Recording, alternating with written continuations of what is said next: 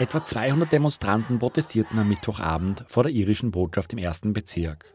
Grund für die Demo war das international kritisierte Abtreibungsverbot in Irland. Das irische Abtreibungsgesetz gilt als eines der strengsten in Europa.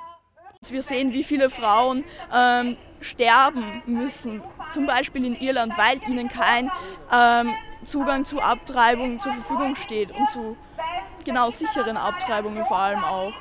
Aus Sicht von Juristen soll das irische Abtreibungsverbot menschenrechtswidrig sein.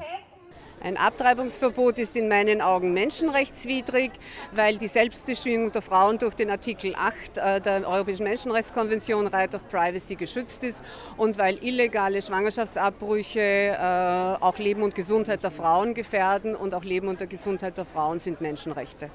Ja, also in vielen Ländern ist es so, dass es völlig egal ist, was der Frau passiert ist, äh, dass nicht nur der Wunsch und der Wille der Frau über einen eigenen Körper zu entscheiden nicht berücksichtigt wird, sondern es auch noch dazu völlig egal ist, was der Frau vorher angetan worden ist, wie zum Beispiel Vergewaltigung, Missbrauch etc.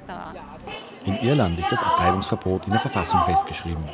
Aufgrund der internationalen Proteste, unter anderem auch der UN, will die irische Regierung nun eine Verfassungsänderung diskutieren.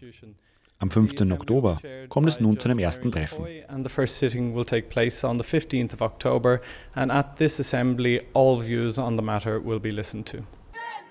Die Demo fand anlässlich des Internationalen Aktionstags für legalen und sicheren Schwangerschaftsabbruch statt.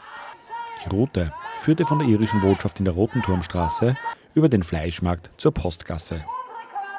Gefordert wird ein Recht für Frauen zum Schwangerschaftsabbruch. Das Ziel ist, dass es in Österreich und in jedem anderen Land der Welt möglich sein muss, für jede Frau in jedem Spital einen legalen, sicheren und kostenlosen Schwangerschaftsabbruch durchführen zu lassen, wann immer sie das möchte, ohne dabei eingeschränkt zu werden von irgendjemandem. Laut Polizei nahmen etwa 200 Personen an der Demonstration teil, die am Mittwochabend friedlich zu Ende ging.